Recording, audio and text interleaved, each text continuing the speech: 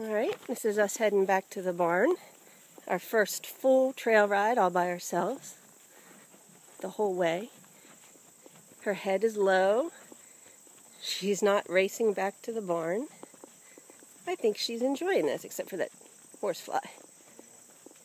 She's a good girl. Say no, dear, for Isabella. Yeah. She's a good girl. There's none of that huffing and puffing, and she's not stressed, and I'm not stressed.